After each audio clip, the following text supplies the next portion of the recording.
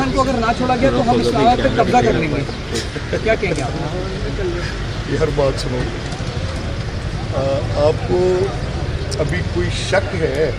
आपको अभी कोई इस बात पर कोई और सबूत चाहिए?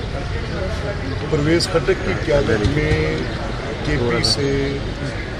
अटक के किले अटक के अटक के पुल पर मेरी तो मेरे तो हाफजे में वो पूरी बात आज भी याद है। और वो सिर्फ़ दारुल खिलाफे पे हमला नहीं था।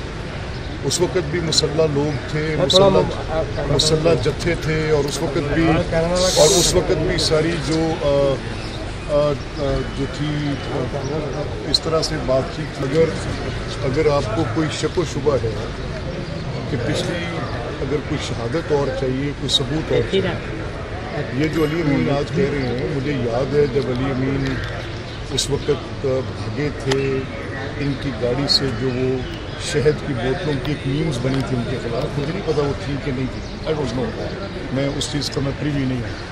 लेकिन वो वो हमला मेरे हाफजे में आज तक वैसे ही महफूज है। तो ये तो पहली बार नहीं होना। कि जब एक बंदा एक, दफ़ा एक काम कर सकता है तो उससे दूसरी दफ़ा वो करने की कोई आपको वो नहीं होनी चाहिए डाउट कि वो नहीं कर सकता वो कर सकता है। और वो बिल्कुल करेगा। मैं आज आपको कह रहा हूँ करेगा। और वो क्यों करेगा? क्योंकि वो जो मेरी आपसे कल बात हो रही थी कि ये अनारकी रहनी चाहिए। कुछ लोगों का वजूद सियासत में अदम इस्तेकाम के लिए होता है।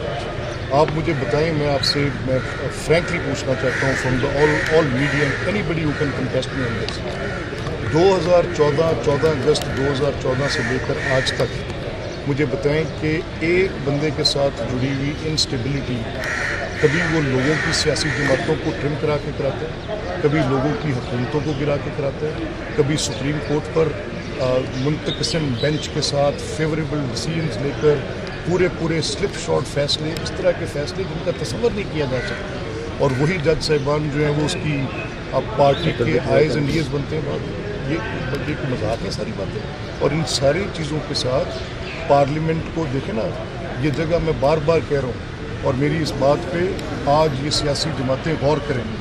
ये ये असम्बलियाँ, ये पार्लियामेंट, ये पहले हल होती थी।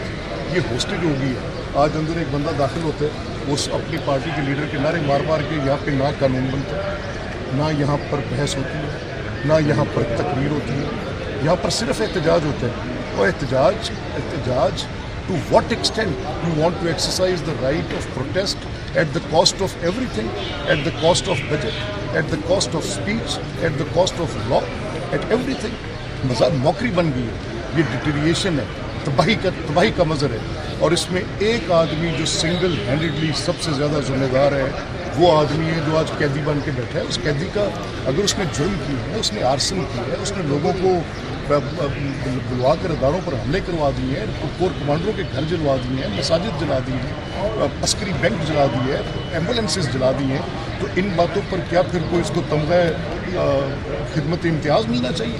अच्छा क्या मिलना चाहिए? आप मैं देखिए मेरी बात सुनो।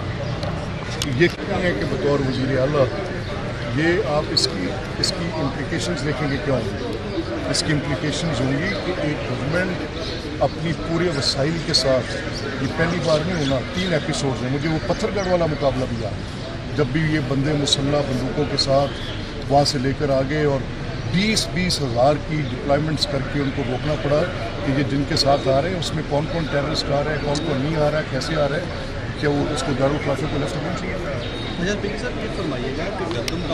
देखिए मैं तो sense of the house communicate करा दिया गवर्नमेंट क्रॉस द ये कोई शक की बात नहीं है कि इसमें गवर्नमेंट की पोजीशन है वो पोजीशन फार्मर को रिलीफ देने की है जो मेरे तक है।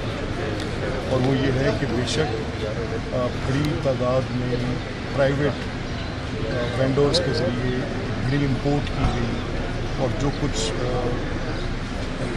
टनेज इतनी ज़्यादा है कि वो शायद अब उनको रखना भी उनके लिए मुमकिन नहीं और फ़ूड डिपार्टमेंट को भी अभी पिछली पिछली गंदम के साथ खड़ा तो वो कुछ 2.25 थाउज़ेंड मेट्रिक टन्स की बात अब मुझे एग्जैक्ट नंबर नहीं पता वो वॉज़ द मेट्रिक टन्स लेकिन जितने मेट्रिक टन्स की वो कल बात कर रहे हैं। अगर ये कैपेसिटी उनके पास है कि उनके पास ये पड़ी हुई तो फिर आप उनसे कहीं कि फर्दर प्रिक्योर करें तो ये उनके लिए एक चैलेंज तो है, मानने की बात है। उनके रिलीजेज नहीं हुए कि आपने इंपोर्ट कर ली, और इंपोर्ट वाली गंदम जो है, वो क्वालिटी में बुरी है अनडाउटेडली बुरी है। उसका जो मिलर को जा रही है, उसकी कीमत कम है। ओपन मार्केट में पच्चीस सौ की बता रहे हैं, दुनिया के अंदर गंदम की कीमत पच्चीस, छब्बीस सौ के बाद। हमारी सपोर्ट प्राइस जो है, वो उनतालीस सौ है।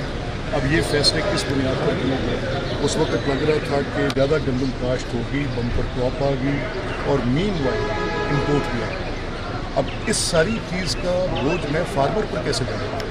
अब farmer has to be look after and government has promise that they will और उस फार्मर को लुक आफ्टर करने के लिए इनको अपनी पॉलिसी के अंदर हर वो टूल ऐड करना पड़ेगा, जिसके साथ किसान न मारे। दिस इज़ वॉट सेरिमोनियल है। इनसिग्निफिकेंट है। अगर वहाँ पे जाके उनके साथ एक ओनरशिप के तौर पे उन्होंने ये पहन लिया यूनिफॉर्म की पहली बार थोड़ी बहुत सी अच्छा मतलब साहब ये लास्ट बता दें कि आपने पिछले का बताया कि किस तरह माजी में करते रहे और पार्लियामेंट को किस तरह यूज़ करना चाहिए नुमाइंदों को। जिस तरह का रवैया है तहरीक इंसाफ का इनको अब मजीद किस तरह ट्रीट किया जाए ताकि ये लोग हैं इस तरह की हरकतें ना करें? ये बड़ी जेनेरिक बात आप कर रहे हैं। मैं इसका जवाब इतना जेनेरिक तो नहीं दे सकता जितना सवाल आपका जेनेरिक है। लेकिन स्टिल मैं ये कहूँगा कि political parties should behave like a political party.